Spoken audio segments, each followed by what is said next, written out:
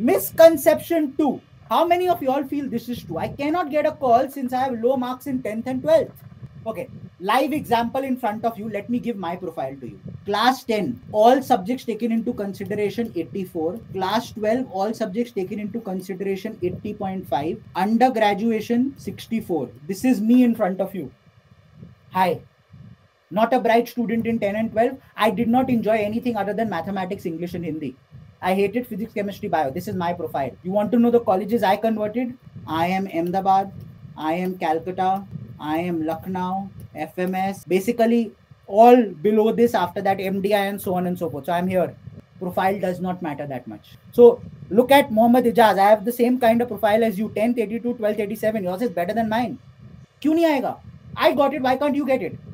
The difference is I knew that because my marks were slightly low, I needed a high percentile.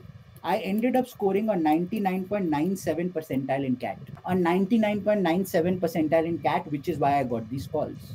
So, what I'm trying to get into y'all and what I'm trying to explain to y'all is this does not matter, it is inconsequential. In fact, I'm going to go ahead and give you examples. I'm going to go ahead and give you examples of, of our students this year whose 10 and 12 are in 70s, in 70s, and they're still going to go into IIM. So wait for two minutes. Now, I had a year lag as well. I had a year lag. I finished my undergraduation in 2010. I wrote CAT in 2011. So I have everything. All of y'all who are worried about your profile, my profile is like that, yeah. Go 10th come, 12th come, undergrads come. I had a break as well. I had a gap as well. And I still, con- I am from ICSE, guys. I am from ICSE, those who are wondering. I'm from La Martiniere in Calcutta, ICSE and So those of you saying ICSE is difficult, I am from there.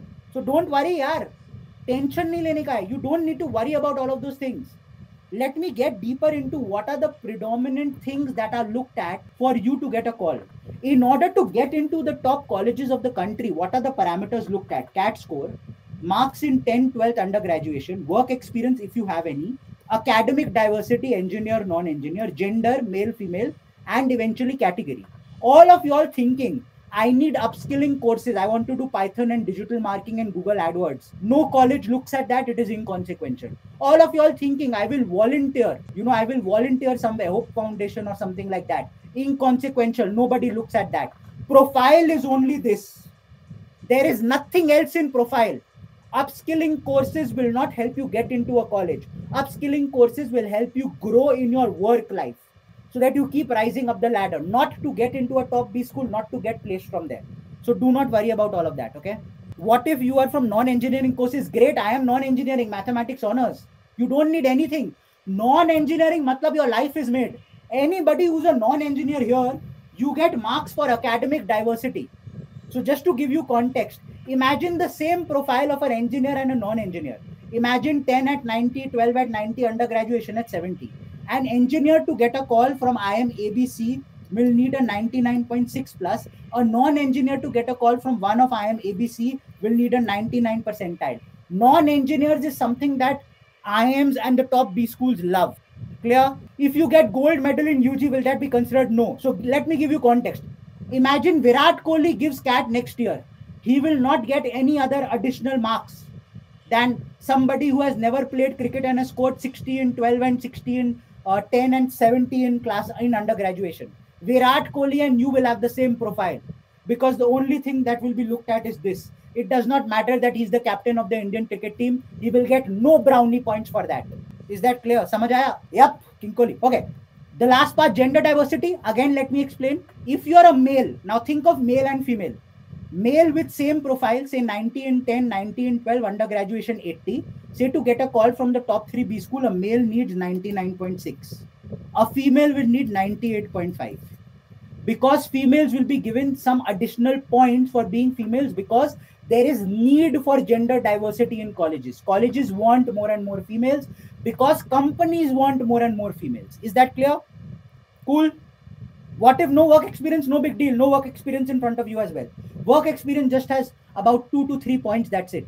Okay. Let's focus. Let's quickly move on. Now, this is what I want you to look at.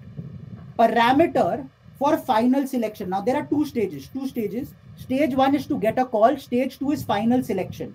When it comes to final selection, that means the GDPI round, look at the weightage given to class 10, 12, and undergraduation 0 to 10, work experience 0 to 5, academic 0 to 3 gender 0 to 3 predominantly it is these two things which is why even if your profile is not that great if you get a call a brilliant interview WAT and GD will ensure that you crack the exam. Some of you are stating if you're a fresher is there any problem? No problem at all. In fact if you're a fresher colleges want you because almost every company wants a fresher other than genman companies genman companies like abg tas and so on and so forth they want people with a little bit of work experience. Marketing is desperate for freshers. Consulting wants freshers. Most of the firms out there want freshers. For the other b schools like for example IIFT symbiosis Narsee Monjee and so on and so forth if you look at it predominant weightage once again is here. CAT, XAT, IIFT score or NMAT score, SNAP score, so on and so forth, and performance in interview WAT GD. This is what I wanted to show you. These are profiles of act- actual students of this year of ours. Look at this.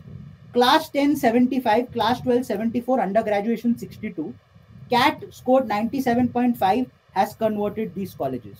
So all of you all worrying that my 10, 12 undergraduation is not good. I hope this is giving you confidence this student converted cap which is under cap you have IIM Ranchi, Raipur, Kashipur, Tiruchirappalli and so on and so forth. CAP is basically a common admission uh, test, common admission process. You basically have close to about eight to nine colleges that have one interview and all of them accept you on the basis of that one interview process. Okay. Another profile, very, very similar. Look at this Aman Singh, 60.8, 60.4, undergraduation 63, Three years work ex, CAT 95.83, once again, got colleges. So all I'm trying to state is if your profile is poor, you feel my 10 is 55, my 12 is only 60, and so on and so forth. Get high scores. Try to focus high on CAT. Get 96 plus on CAT. Aim for that. Some of you are asking about category. Let me help you. Imagine, basis your profile and everything else, say you can get an IIM Lucknow. Let me take Lucknow as a call. Say a general category students gets an IIM Lucknow call at 96, hypothetically. An OBC student, this is for category, can get a similar call at say about 88. An SC student can get a similar call at 78. An ST student can get a similar call at 70 percentile. EWS would get it at 90. Okay. And if you are PD, the physically disabled category, you will generally get a call, let's say about 80 to 85. So that is it. Now, I do not consider this fair or unfair. I'll tell you why. For me, unfair is after I start doing something, you change the game. Say you told me that in order to do well in this exam, I need to score 70. Then one month before the exam, I tell you, no, no, no, I'm changing the game. You don't need 70, you need 90. That is unfair. But if at the beginning of your preparation, you already know, basis your profile, basis your category, this is what you have to score, I don't consider that unfair. That is how I look at it. Basis my profile, I knew that in order to get an IIM Ahmedabad call, I needed a 99.95 percentile. I did not consider it unfair. I considered it a challenge and I scored 99.97. So it is about how you look at things. If I am in your shoes, I will say unfair. Why unfair? You knew it from day one. Tomorrow in the World Cup final, if you have to chase 400, you will say unfair. No, you knew it before the game. You knew it before your batting inning started. You have to chase that. So that is what it is. So that is why I keep stating CAT exam for me is like a chase. You know already what you need. Prepare accordingly strategize accordingly, aim accordingly.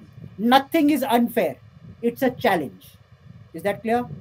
Uh, please speak something about sectional cutoff. Aim to get 80 percentile plus in every section. You will clear the sectional cutoff for every IIM. Okay, clear. Let's quickly move to misconception three.